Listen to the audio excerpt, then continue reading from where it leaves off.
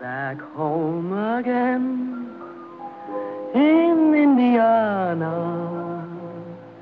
That's where I want to be.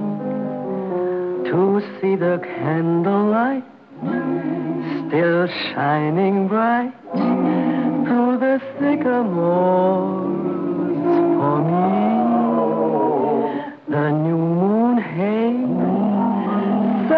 all its fragrance from the fields I used to roam.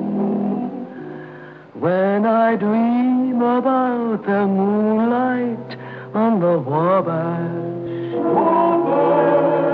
then I long for